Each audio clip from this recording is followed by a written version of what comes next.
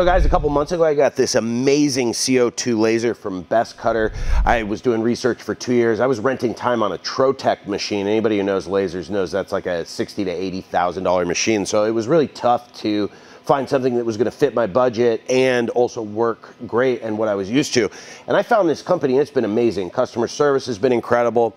And the owner of the company showed me some tricks to get superior accuracy out of your laser. Uh, he showed me a trick for aligning the beam, getting the table level, and I wanted to share that with you today because I think YouTube really lacks quality content on how to get the most out of your lasers. So this thing's been a lot of fun. We engraved the Katz Moses dovetail jig, the new Katz Moses stop block. Uh, we've been doing business cards, making templates. It's been a lot of fun having it. And I want to get into showing you how I figured out how to get this thing super accurate. I even tried to hire somebody, which was a mistake because it's really easy. So I'm going to take you through the steps and we'll get this thing super dialed in. So to check beam alignment, you want to essentially just check all your corners are the same height. And that's really easy to do.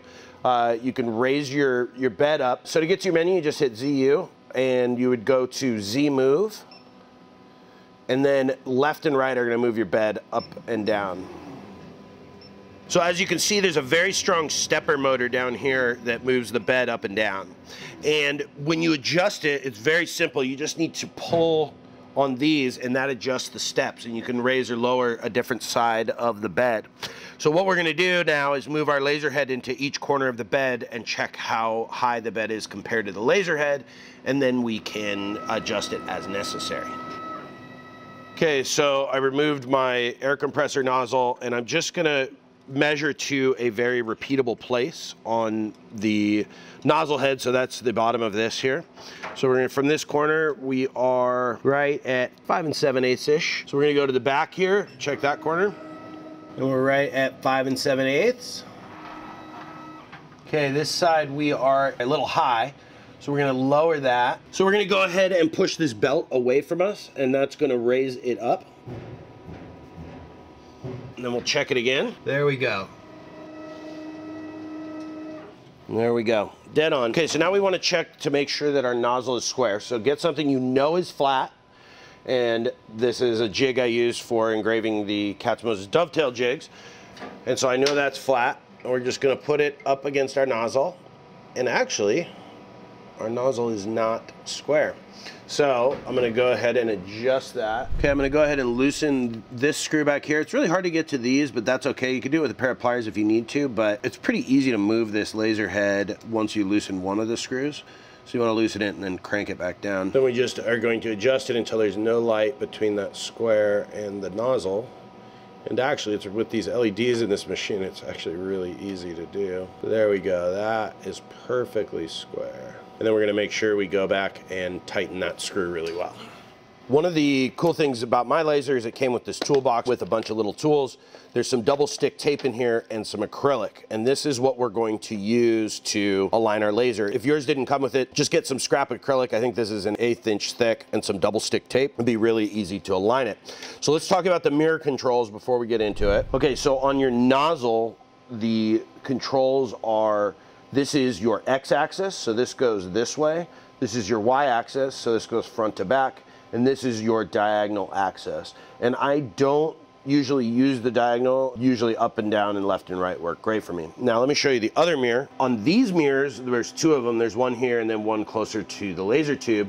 This is gonna be your left, right, this is gonna be your up, down, and this is gonna be your diagonal.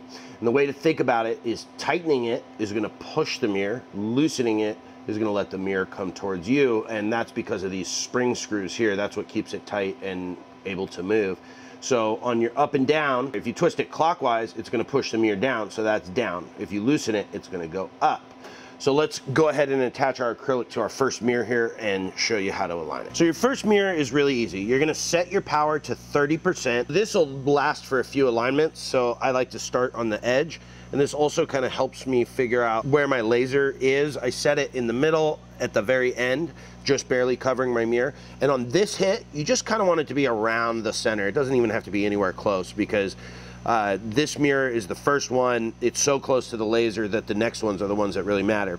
So we're gonna go ahead and hit this with 30%. We're just gonna do a quick pulse and see where it is.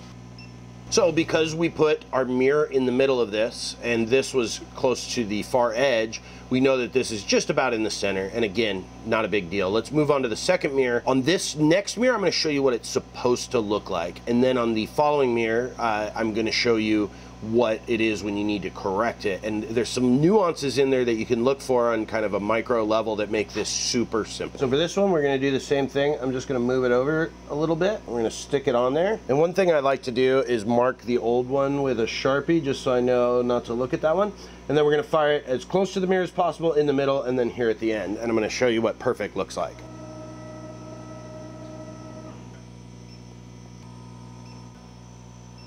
Okay, so this is what perfect looks like. It's basically perfect. It's not 100%, but it's 99.99999% perfect.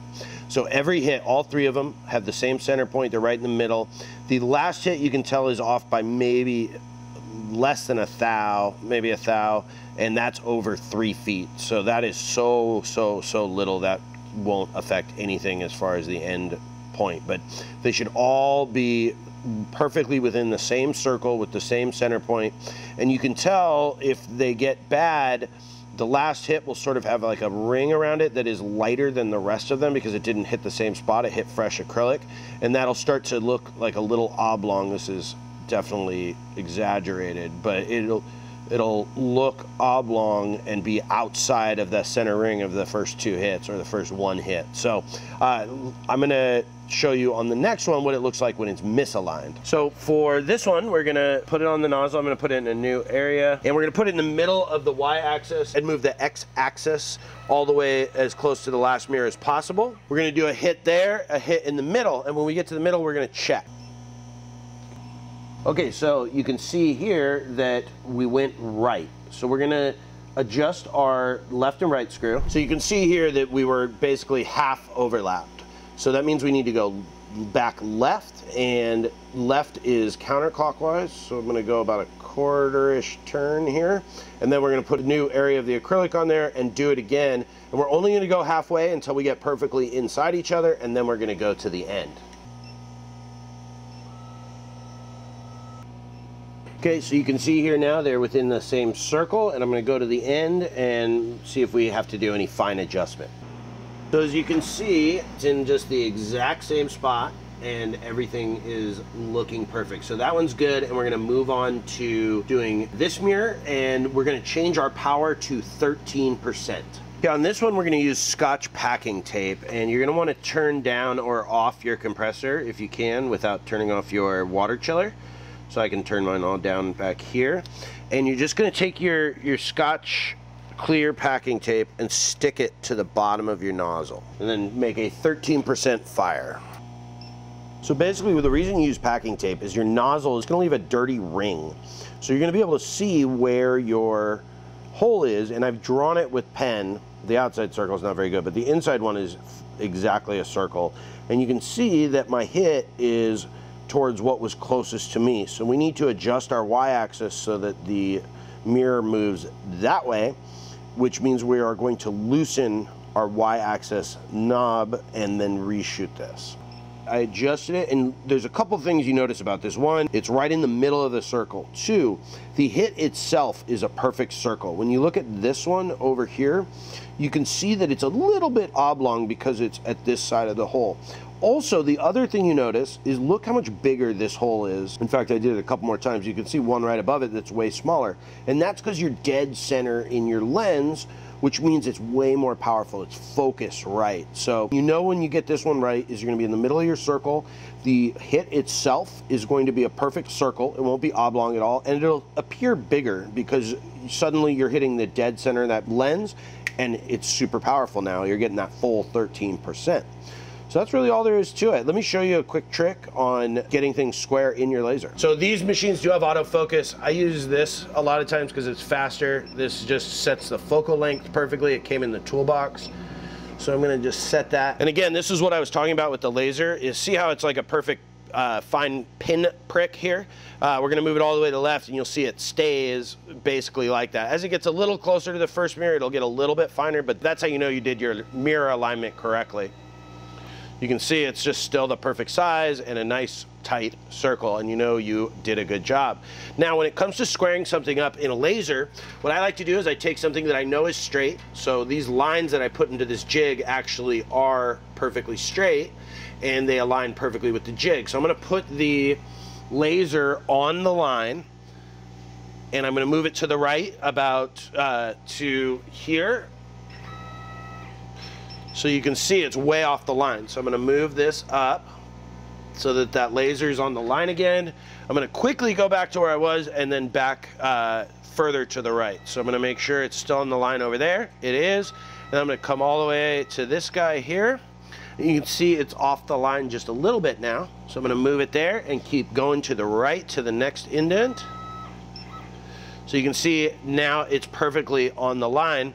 And now we know it's square because once you have one axis, you should have the other, but just for giggles, um, I'm gonna change the speed here, turn it down just a little bit so I can get it right on this line right here. So see this line, we're gonna put it right on there and it's, now we're gonna go down all the way to here and you'll see that it stays perfectly on that line. And that is how you know that you have something square in your laser. So there's a little bonus tip along with laser alignment. So that's how you do it. I know that uh, laser CNC is in my normal woodworking content, but I am looking forward to integrating this into the shop. It has already been an invaluable tool. It's one, been so much fun. Giving out people anodized business cards is like the best.